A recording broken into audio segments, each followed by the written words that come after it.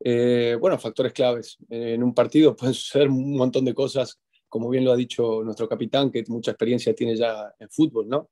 Nuestro trabajo eh, es eh, intentar que, que, el fútbol pase por, por, aquellos condicionantes que nosotros queremos imponerle, ¿no? Por supuesto que está también el rival y que el rival intentará imponer los suyos, y de esto se trata el deporte y, y la confrontación. Y, y sabemos que va a ser un partido complicado, difícil, sabemos que, que, nuestro rival tiene virtudes eh, y como no podría ser de otra manera, porque para avanzar hasta estas etapas de una competición eh, con tan buenos equipos, tan dura, evidentemente hay que tener muchas virtudes y, y nosotros tenemos que tratar de minimizarlos y, y, y tratar de, de, imponer los nuestros. ¿eh? y esperamos que sea un, un bonito partido. La actitud, como, no, como no cabe de otra manera en estas, en estas instancias, es, es toda, ¿no? Por supuesto. Hola, ¿qué tal? Buenas tardes. Eh, pues nosotros ya los hemos enfrentado, ¿no? O sea que eh, no es solamente análisis, no es un equipo que, que, sea nuevo para nosotros, lo, tenemos que volver a enfrentar. Conocemos, conocemos algunas de sus virtudes, tiene muchas virtudes el equipo, por supuesto, en ataque y en defensa. Eh, como decía recién, ¿no? Si no, es, es, imposible avanzar hasta, hasta estas etapas de una competición tan complicada, tan bonita, ¿no? A nivel continental.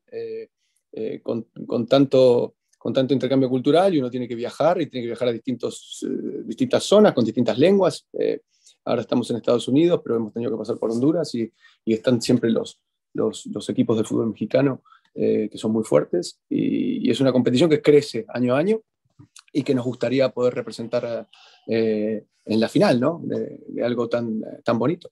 Hace rato Memo Ochoa hablaba de esta ilusión que les genera estar presentes en esta competencia y de por qué no acceder a una final más, un, campeonato que no han ganado en los últimos cinco años. Eh, en tu opinión, ¿también te, ilusiona como técnico acceder a esta gran final en el torneo? Gracias.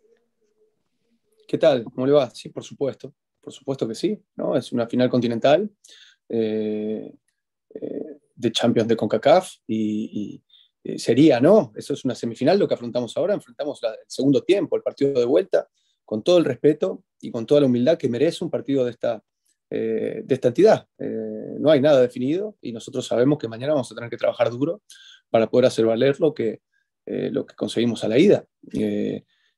Así que en, en, eso estamos trabajando y concentrados en el partido de mañana.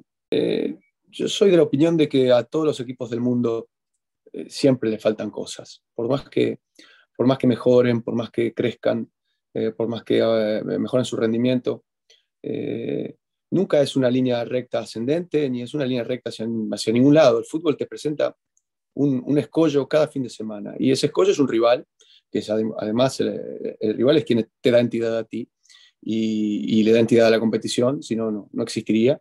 Y ellos hacen, cada rival hace todo lo posible por, por por batirte y tú haces lo mejor posible por batir a tu rival. Entonces, cada partido presenta circunstancias completamente distintas. Eh, y eso es para nosotros la competición, ¿no? Eh, intentar de mejorar e intentar de, de, de, superar a los rivales que nos toca. Por eso siempre el, el partido más difícil es el siguiente. Y, y, por eso respetamos muchísimo al rival que tenemos enfrente mañana. Y, y vamos a enfrentar este partido con, eh, con muchísima, con toda la humildad, eh, con respeto y humildad, y, y no, no, no es que estamos a 90 minutos de nada, nosotros estamos a, a tener que hacer un buen partido, un muy buen partido, y, y esa, esa sería la, la, distancia que nos separa ¿no? de, de, poder pasar la eliminatoria. Hacer un muy buen partido, no, no, no superar 90 minutos.